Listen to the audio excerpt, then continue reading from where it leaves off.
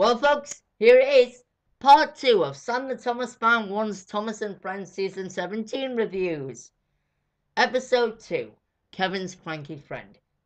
If you haven't seen that episode yet, the link to it is in the description box. The episode starts out with a busy day on Brendam docks. Cranky was working as hard as he could, but the cargo kept on coming. Cranky wonders if all the loading and lifting will ever stop. Cranky's load almost hits Thomas. Thomas tells Cranky to be careful, but Cranky tells Thomas that he is always careful. Thomas asks Cranky if he can unload it now, but Cranky says no and says that Thomas has to wait his turn, and he asks him if he can see how busy he is. A horn goes off and Cranky turns to it saying, I'm coming, I'm coming. Salty then balls up laughing like a pirate. He says that if Cranky gets crankier, there might be dark clouds on the horizon. When Cranky finally unloads Thomas, he arrives at Knapford Station late. Oh no, what will the Fat Controller say? The Fat Controller tells Thomas that he should have been here an hour ago. Thomas apologizes and explains that the reason why he was late was because Cranky was so busy. The Fat Controller decides to go to the docks and see what's happening. The Fat Controller's car pulls into the docks and the Fat Controller steps out and sees chaos. Oh dear, Cranky's in trouble now. James and Henry were also at the docks, impatiently waiting for Cranky. The Fat Controller shows Cranky the mess and asks what is going on. Cranky replies by saying he is working as fast as he can. The Fat Controller says he can see that and thinks Cranky can need some help. Cranky says he doesn't need help. Then Cranky's net of balls tears open and all the balls fall everywhere. The Fat Controller has enough and tells Cranky he is sending another crane to help him on the dockside. Cranky exclaims that he doesn't need any help, but the Fat Controller already drives away. Salty watches the whole thing and tells Cranky that help is coming soon. A workman nearly drops his wood on Salty and he tells him to be careful. The Fat Controller then drives to the steamworks. He talks to Victor and asks if he can spare, spare Kevin for the day. Victor accepts, saying that he and Kevin are quiet. He calls Kevin and he rides up to Victor and the Fat Controller. The Fat Controller tells Kevin he has a special job for him. Kevin gets so excited, spinning around and saying no crane has ever gotten a special job before. Victor tells Kevin to calm down. Kevin apologizes. The Fat Controller then tells him he needs him to work at Brendam Docks and help Cranky. Kevin gasps and says he always wanted to go to the docks and he always wanted to meet Cranky. Wow, it's, it's, it's like he wants him to... It's like he wants Cranky to take him under his hook, tell him everything he has to know and be like his big brother, like Rainbow Dash and Scootaloo from My Little Pony Friendship is Magic. The Fat Controller says he will make arrangements and Kevin will start right away. Thomas took Kevin to Brendam Docks where he introduces him to it. Kevin says it's amazing. He was so excited to be at the docks and he was really excited looking forward to meeting Cranky.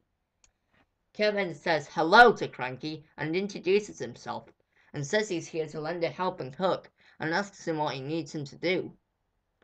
Cranky says that he told the Fat Controller and he's telling him he doesn't need any help, especially from a funny looking crane like him. Now that was mean, even for Cranky.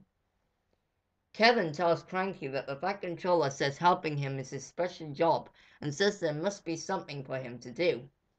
Cranky then tells Kevin to go to the corner and stay out of his way and finishes saying he doesn't need any help, so Kevin does. At that moment, Salty pulls up. He tells Kevin not to fret and that he will get used to Cranky's crankiness. Cranky continues to work on his own, but there was so much to do. He drops some pipes on the dockside. Kevin jumps in and rushes to help. He makes a pyramid out of the pipes. Nice pyramid, Kevin. But instead of being grateful, Cranky was furious. He calls Kevin a silly little crane and says it was his fault that he dropped the pipes. He says he keeps on watching him and it makes him nervous. Then he tells him to go back to the corner and to stop interrupting. While Cranky was saying he can do well on his own, he drops some crates for chickens. The chickens break out and panic all over the place. Salty gets surprised by all the chickens. There were chickens here and chickens there and chickens everywhere. And once again, Kevin rushes to help. Strike two. Kevin tells Cranky everything is under control while he rounds up all the chickens and gets them back in their crates. Salty says well done to Kevin and says he is a credit to the crew. But Cranky doesn't think so and says he thought he told Kevin to stay out of his way and says going and says going all over the docks makes him dizzy. Kevin starts to say but, and Cranky interrupts, saying no buts, and tells him to go back into the corner and stop putting his hook where he's not wanted. Thomas arrives just as Kevin goes back into his corner. Thomas asks Kevin why he's not in how he's enjoying his day at the docks. Kevin replies by saying it isn't very well because he doesn't think Cranky likes him. Thomas says Cranky isn't bad once you get once you get used once you get to know him. Salty says under all of Cranky's graph lives a heart of gold.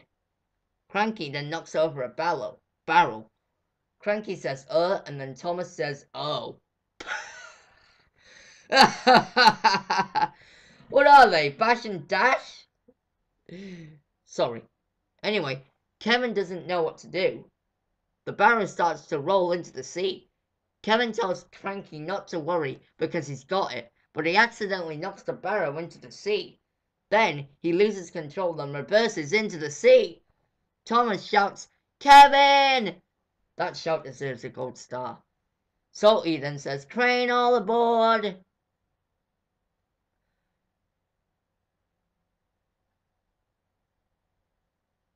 Crane overboard! Kevin calls for help as he starts as he starts sinking. Cranky says that he told Kevin to stay put, but nobody listens to old Cranky as he starts pulling Kevin out. Salty says well done to Cranky. A crab falls onto Kevin's nose. Sorry. The Fat Controller arrives unexpectedly and asks what is going on, and tells Kevin that he thought he could trust him with his special job as Cranky lowers him down. Crank Kevin starts spluttering as the Fat Controller says he thinks he should send him back to the Steamworks, as he is not helping here at all. Kevin sighs because he tried to be a really useful crane and it all went wrong, and now he was being sent, sent away in disgrace. Cranky watches Kevin go and speaks up, telling the Fat Controller that it wasn't Kevin's fault, it was his. He says Kevin was just trying to help. Saying that he might be a bit reckless, but he's a hard worker and really useful. Kevin exclaims, realizing that Cranky does like him and he thinks he's really useful. And he called him Kevin. Ah, oh, that's adorable. Salty says once more, a heart of gold. The Fat Controller says it's good to see Kevin and Cranky working together and tells them to carry on as he leaves. Kevin thanks Cranky and asks what he wants them to do now. He asks if it's to stay in the corner because he doesn't want to get in the way. Cranky finally admits that maybe he does need a little help. After all, two hooks are better than one. That's amazing, hearing that from Cranky. And then he says that they must get to the docks. Must get the docks to look ship-shape. Kevin says okay and calls Cranky boss. Kevin compliments on he and Cranky working as a team, and he carries a lot of crates. As he carries a lot of crates. Salty says Kevin is doing a fine job. Cranky agrees, but he asks why he has to do it so cheerfully. So the episode was good. Cranky's trouble at the docks, Kevin trying to work with him, Thomas and Cranky finishing uh-oh, Thomas screaming Kevin, and Kevin with a crab on his nose, made the episode really enjoyable to watch, and I give it 3 stars out of 5. This is Sam the Thomas Fan One's Thomas and Friends Season 17 review part 2 on Kevin's Cranky Friend. I hope you guys enjoyed it, and I hope you also enjoy the next review on Scruff's Makeover tomorrow. I'm really looking forward to reviewing that. Thank you for listening to my thoughts, and thanks for watching.